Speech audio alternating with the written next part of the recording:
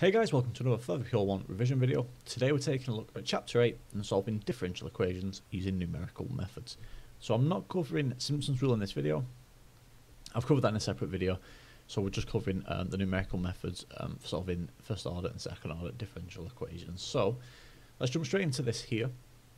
This is a very standard kind of AS exam question. So we're given uh, the price or the formula here as a differential equation of um, a stock portfolio and we're told the asset is worth £10,000 two days after it's purchased.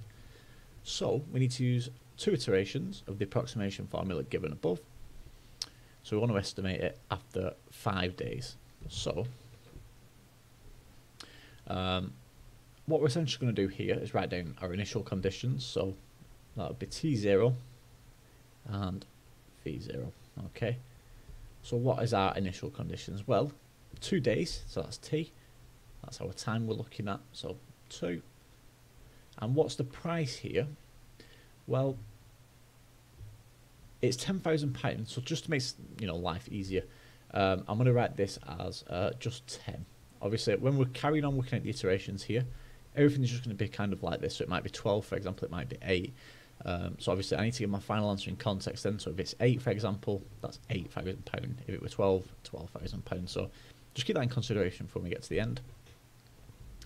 So we've got our initial conditions. Now let's work out H. So H in this case, hopefully it's quite straightforward to work out. We want to know what it is five days after it's purchased. We're already on two days, so simply it's going to be 5 minus 2 divided by 2, okay? Which you, well, it's like that's 3 over 2, so 1.5. So hopefully all pretty standard so far. So the first thing I'm going to do here now is work out what my differential is at time 0. So what we want to know here is dv by dt at t equals 0. Okay. So how do we do that? Well, we just take our differential that we're given here, the differential equation, which is v minus t divided by vt minus t cubed, and we use our v and t here. Okay. So v minus t, so that's 10 minus 2, divided by 10 times 2, so 20, and then minus t cubed, so minus 2 cubed. So that's 20 minus 8 there. Working this out here now, we get 8 over 12, which is equal to 2 over 3. Okay, so hopefully again, still pretty standard. So now, now we're going to use the approximation formula. So this is always the case here, that it's given dy by dx at time 0 is approximately y1 minus y0 divided by h. So to make this easier now, what we do is we rearrange this. So what's that going to look like when I've rearranged it? Well, when I rearrange this, this is simply just going to be v1 being equal to v0 plus h times my differential here, my differential equation.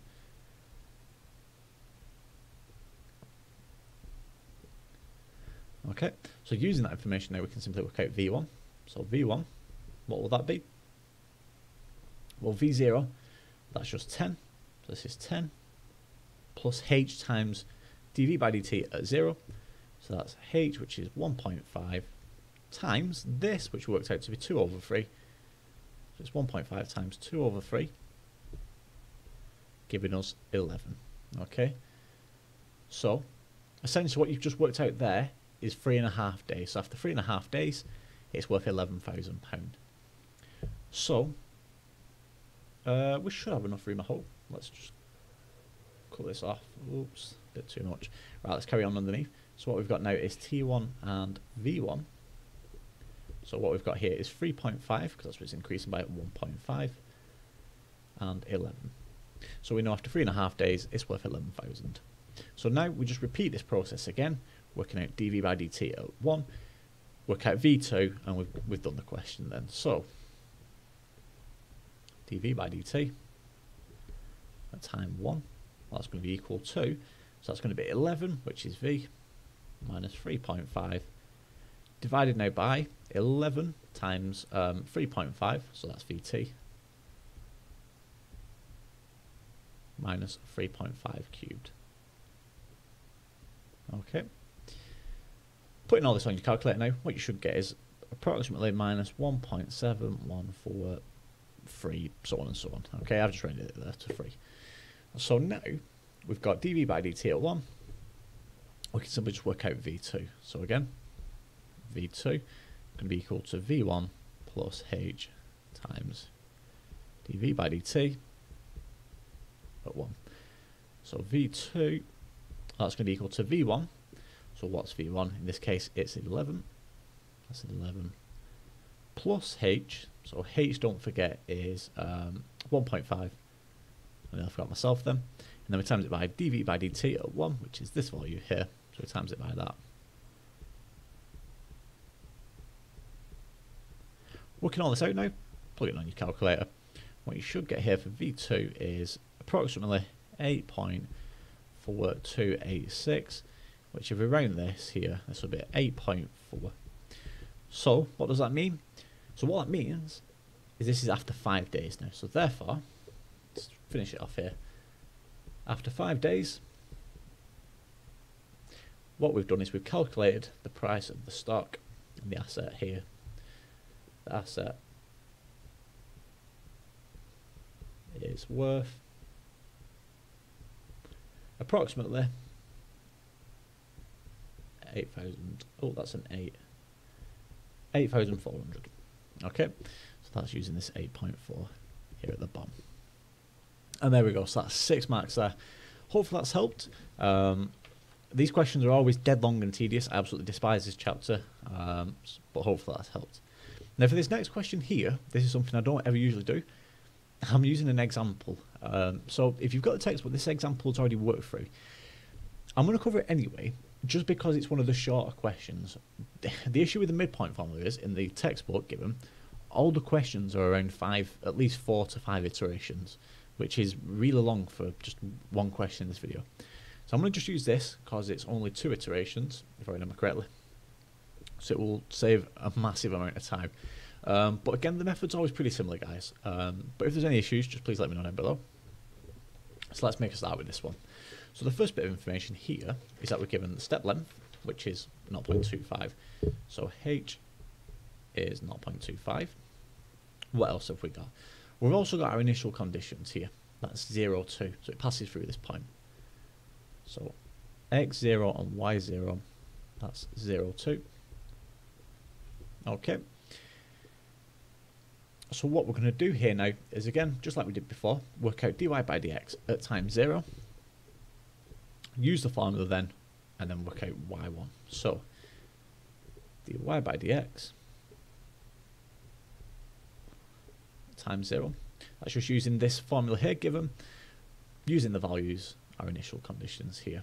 So what's that going to be? That's going to be 0. So xy, that's just going to be 0 plus 2 divided by 2 squared plus 0 squared. That's going to be 2 over 4, which if you work that out, that's just simply a half. Okay.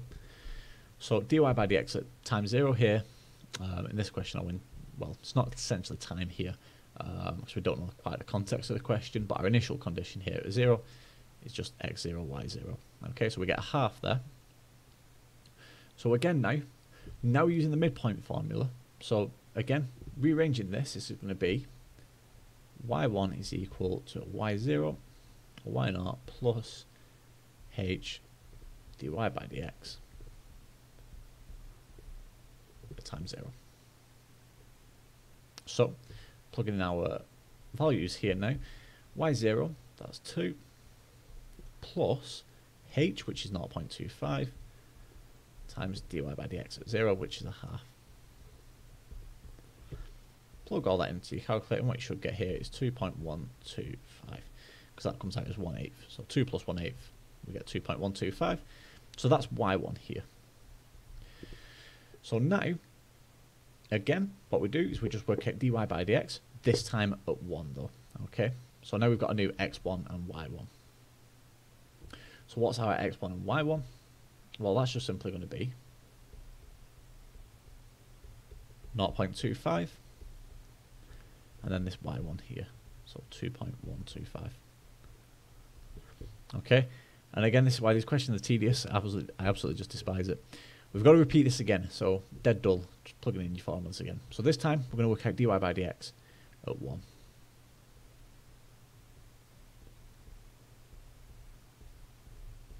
Okay, so what's that going to be? Well, it's going to be xy, so 0.25 times 2.125.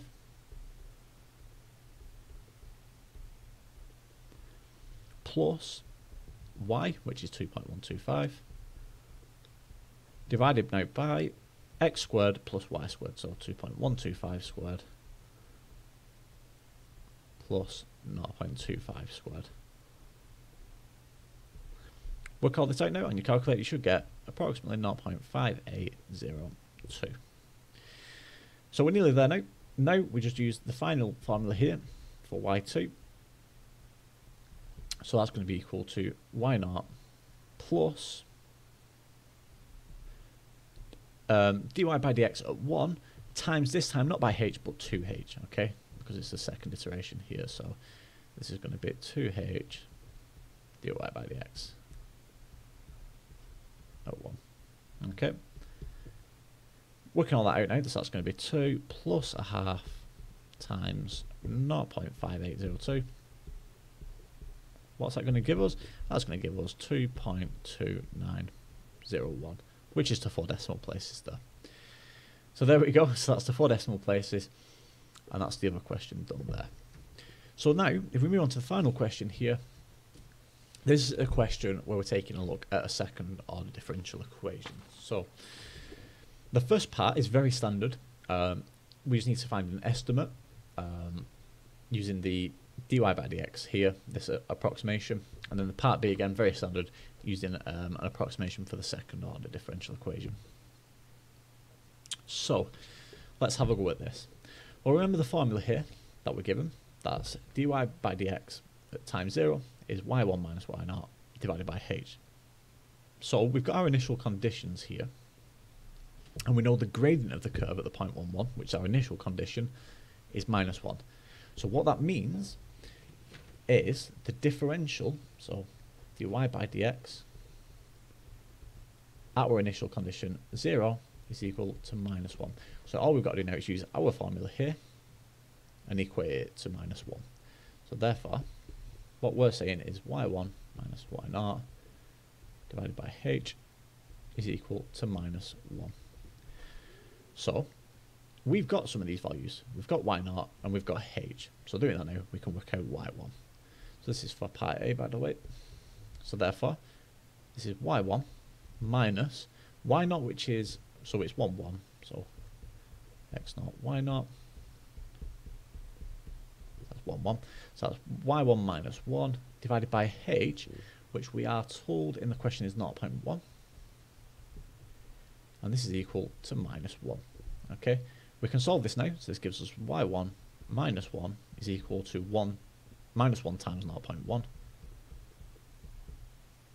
therefore y1 minus 1 is equal to minus 0.1 and then if we just add 1 to both sides we get y1 is equal to 0.9 okay? So that just gives us part A there working out um, the estimate for the coordinates of the point. So y1 is 0.9 so essentially coordinates if you want to write them down are 1.1 and 0.9 okay and then for part B we just need to use the second order here. Okay, so let's just clear all this just so we've got enough room. And even then we probably still won't have enough room, um, but let's give it a go. So first let's just write down our new initial conditions. Because what we want to do is we want to find now 1.2 and 1.3, so essentially two iterations here. So x1, y1. So that's going to be equal to 1.1 and 0.9. So the second order here, the approximation, we just need to apply that. But first, we have the differential equation here, x cubed minus y squared. So now we can use x1 and y1 with that um, differential equation. So let's do that. So what's that going to look like? So that's going to be second order. So it's this value here, x cubed, so 1.1 cubed, minus y squared, so minus 0.9 squared, So that's going to be equal to 0.521. Okay, so now we can use the formula to get um, our first approximation, our first iteration here. So therefore, y2 minus 2y1 plus y0 divided by h squared. And that's equal to this point here. So this is at 1, sorry. Okay. So there's also a lot of writing with these questions. So now, all I've got to do is start plugging in my values. But what I'm going to do is I'm going to rearrange this again. We want it to just be in terms of y2. So I'm going to times both sides by h squared. I'm going to add 2y1 to both sides and then subtract y0. So what we're doing here is y2 is equal to h squared times the second derivative minus, well in fact let's add this first, so it's going to be plus 2y1 minus y0. So what we want is we just want y2, okay? So now, doing that, we get y2 is equal to um, 0.1 squared times 0.521 plus 2 times 0.9 minus, uh, 1. Minus 1. Okay? Plug that on your calculator. And what you should hopefully get, if I haven't made a mistake, is 0.8052. Okay? So, that's our new coordinates now. So that's for when x is 1.2. So if we just clear all that, we can work out our last iteration.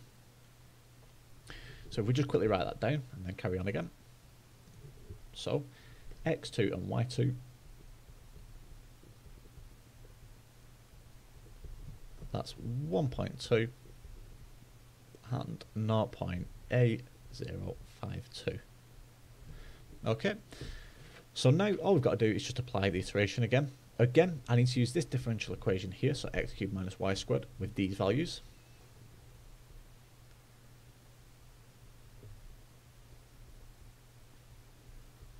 So that's going to be 1.2 cubed minus y squared, so y is 0.8052, minus that squared. Plug that on your calculator, you should get 1.07963. So now we've got this here. This is at time 2. Um, now we just need to use our formula again. So this time it's going to be y3 minus 2y2 plus y1 divided by h squared. And this time it's equal to this one. So just again, just rearranging your formula, um, and then we can work it out.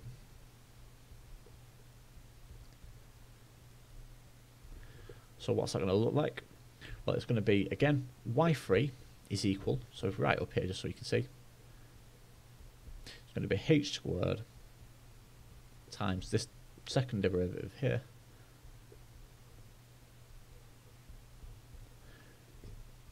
2 um, plus 2y2 minus y1. Okay, so that's all I'm doing here. But if I do it at the bottom here, what you should get is y3 is equal to h squared times this, so that's going to be 0.1 squared times 1.07963 plus 2 times 0.80521 so at this point here, I'm just basically doing GCSE substitution and then minus 0.9. Plug all that on your calculator. So again, just some more GCSE maths um, disguised as A-level further maths, and you get 0.7212 there. So there we have it. Okay, so then your final coordinates. So that's when uh, this is this is when 1.3, 0.7212, and then the 1.21 was uh, given up here. So there we have it. So that's your final solution there. So I hope this video's helped. That brings us to the end of this one. I'm not going to go over any more of these questions because they're dull and they're all the same. But I hope it's helped. Any issues, please just let me know down below.